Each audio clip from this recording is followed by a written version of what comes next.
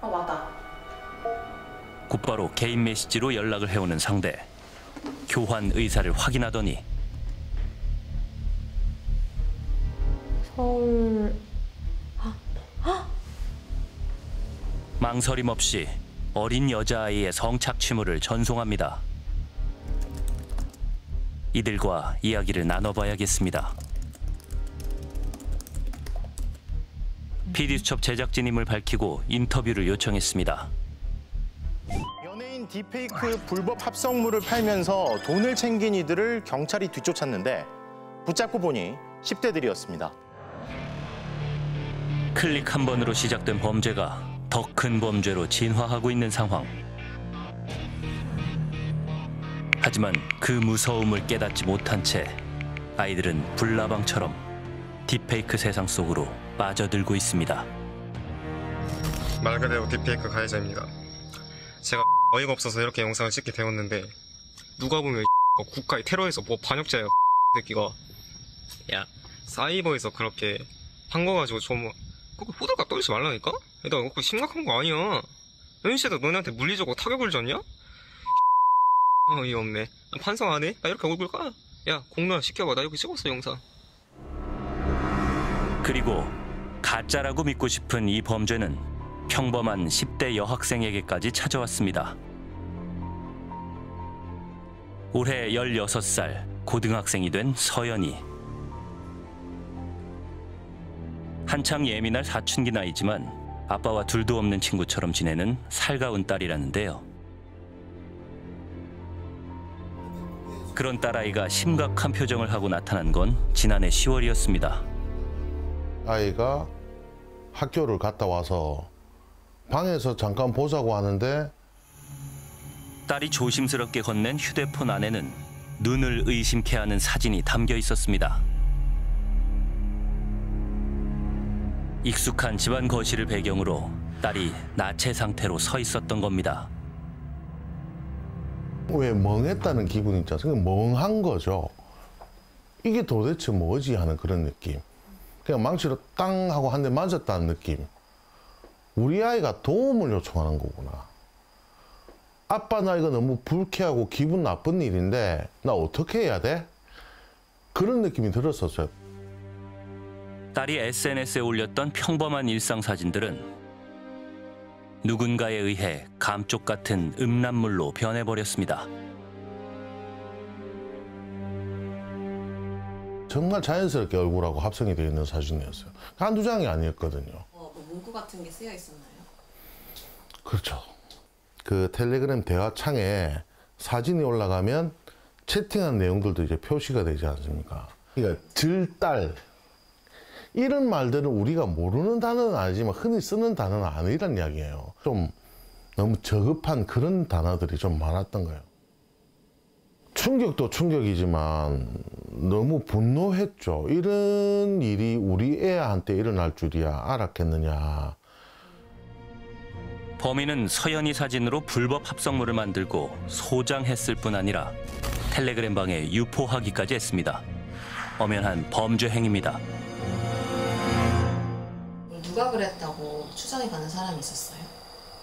누군지는 아예 몰랐기 때문에 그냥 왜 그랬지 이 생각밖에 안 들고 아, 누구지 싶은 그런 감정이 가장 컸어요.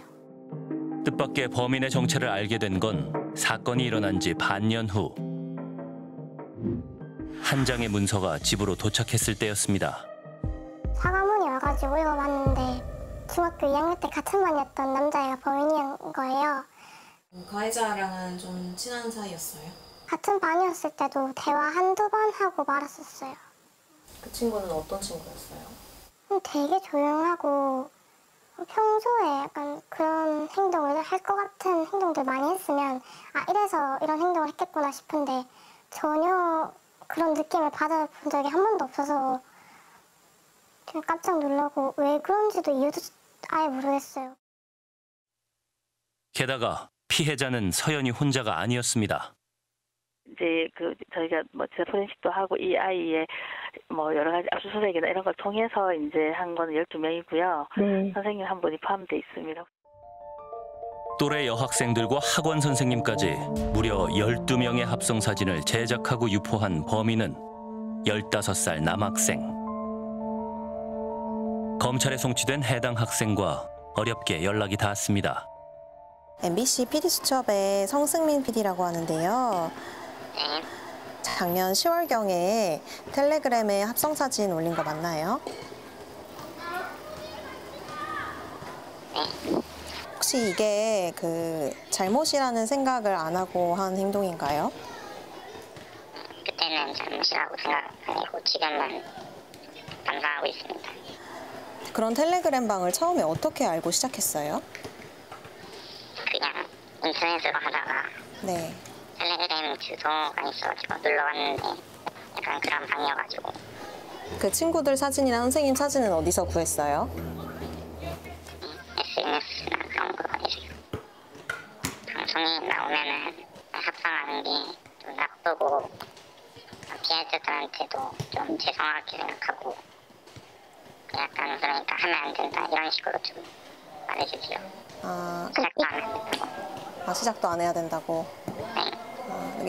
학생이 하고 싶은 말이에요.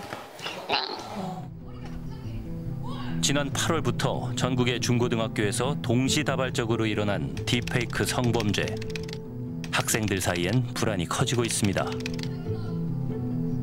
인스타 같은 걸로 친구들끼리 뭐 이런 뉴스를 주고받기도 하고 그리고 얼마 전에는 그 딥페이크 지도라고 해서 저희 홈페이지에서 딥페이크 발생한 걸 확인할 수 있는 것도 있었는데 그런 것들을 통해서 주변에도 딥페이크가 일어나고 있는지를 확인할 수 있어요. 좀 애들 대부분 친구들이 다 비공개로 다 계정을 돌리고 이제 사실 다 어, 그런 SNS 활용함에 있어서 평소에 제한 없이 당연히 할 수 있는 권리라고 생각을 하고 사용을 했는데 어, 이런 거를 이게 그런 사람들 때문에 제한당한다는 게 어, 약간 어, 좀 직접적인 피해라고 생각을 했어요. 10대들이 가담한 딥페이크 공유방의 존재를 국내외 언론사에 제보하며 공론화에 나선 한 고등학생. 처음에 뭐라고 검색을 해서 발견한 거예요? 격지방이라고 검색을 했어요. 제가 가장 처음에 접속했던 화면은 이거고요. 이 링크를 통해서 아무런 인증 절차 없이 바로 들어갈 수 있길래 들어갔더니 겹지방, 겹치는 지인 능욕방. 이 말의 줄임말입니다. 마리앙이 모은 자료를 보면 겹지방에선 먼저 능욕하려는 대상의 학교, 나이, 이름 등 신상을 이야기하며 이들을 아는 지인을 찾고 딥페이크로 만든 나체 합성 사진과 함께 피해자를 성적으로 모욕하는 대화를 스스럼 없이 주고받습니다. 불법 합성물을 서로 교환하거나 심지어 오프라인에서의 성범죄를 도모한 기록도 있습니다. 혹시라도 제 사진이 있을까, 제 동생 사진이 있을까, 친구들 사진이 있을까라는 게 너무 불안한 거예요. 들어가서 있는지 없는지 막 명단 정리하면서 확인 하나하나 하면서 봤던 것 같아요. 근데 이제 그 주고받는 메시지에 저희 학교 후배도 있었고, 아는 선배도 있었고, 아는 언니도 있었고, 제 친구의 친구도 있었고, 그랬던 거예요. 지난 2월부터 8월까지 6개월간 운영된 대전 겹지방. 이름이 언급된 피해자는 수백 명에 달합니다. 되게 심각하게 느꼈던 거는 중학교, 초등학교 단체 사진을 올려서 능욕해달라고 올렸던 것도 봤어요. 저보다도 훨씬 어린 아이들이 그냥 꽃받침하고 있는 사진이었거든요. 단체 사진. 학급 단체 사진. 근데 그냥 그걸 올려놓고 누구누구 누구누구 능욕해달라고 하더라고요. 보고 진짜 숨이 덜덜 떨렸어요.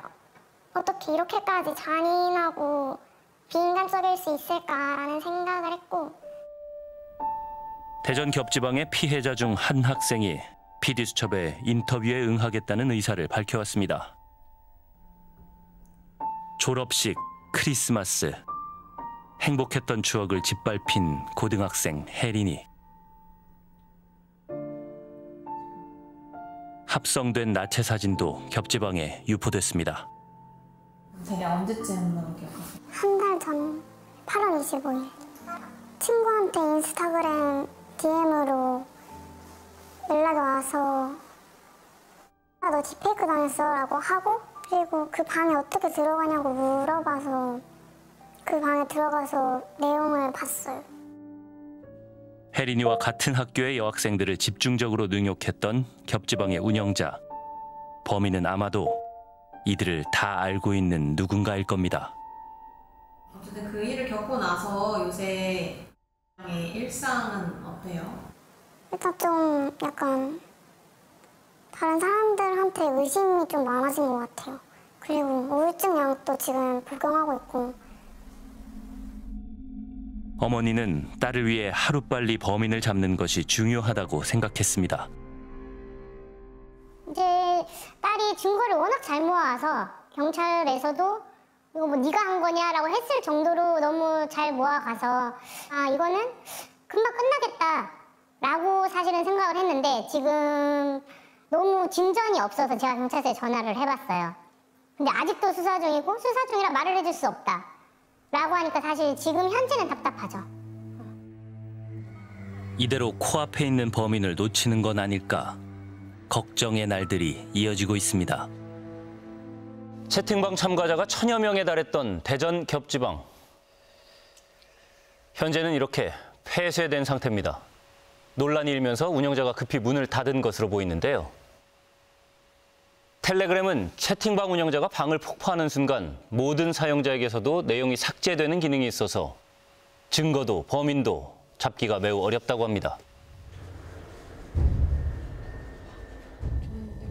대학별, 지역별로 운영되던 대화방은 대부분 사라진 상태.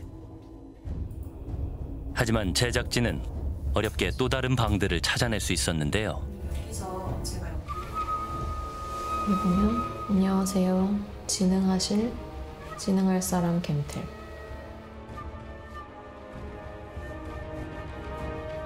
여기 이렇게 딥페이크 합성된 사진을 공유하고 있어요. 여전히 능욕할 대상을 찾고 있는 사람들.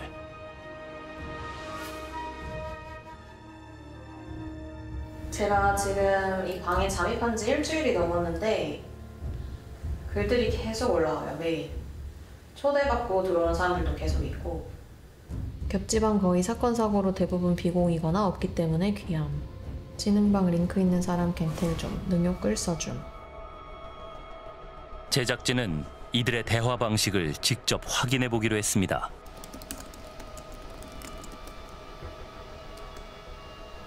자료 교환을 원한다고 올리자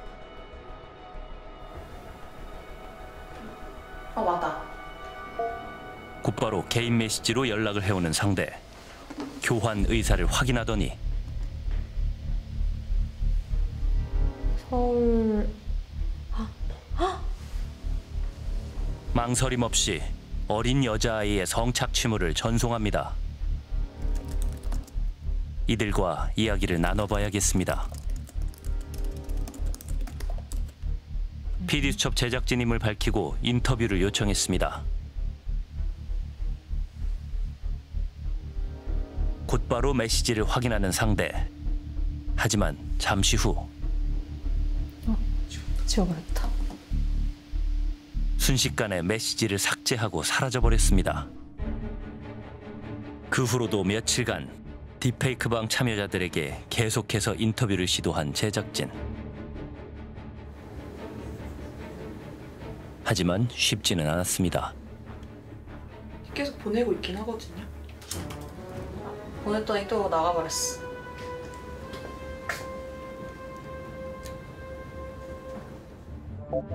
그러던 중 자신을 20대 대학생이라고 밝힌 이용자로부터 답장이 왔습니다. 그는 불법 합성을 어떻게 시작하게 됐을까? 언제부터 시작하셨나요? 얼마 안 된 것 같아요. 한 1년? 어떤 방식으로 참여하시나요? 합성도 하고 그냥 얘기도 하고 하는 것 같아요. 주로 누구를 능욕하시나요? 저기 올라오는 지인들이요. 한 적 있죠.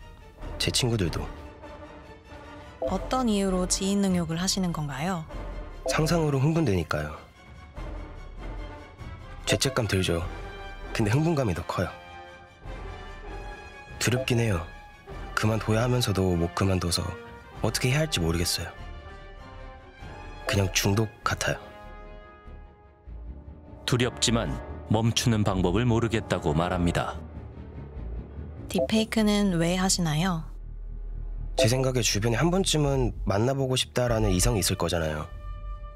그런데 뭐 개인마다 만나볼 수도 있고 못 만나볼 수도 있으니 그거에 따른 호기심 아닐까요? 쟤는 어떨까 그런 호기심이라는 게 꽤 이전만 하더라도 좋아하는 이성 생각하면서 자위했다면 지금은 기술의 발전으로 상상을 실현시킬 수 있는 시대니까요. 기술의 발전이 새로운 성범죄에 날개를 달아주고 있습니다.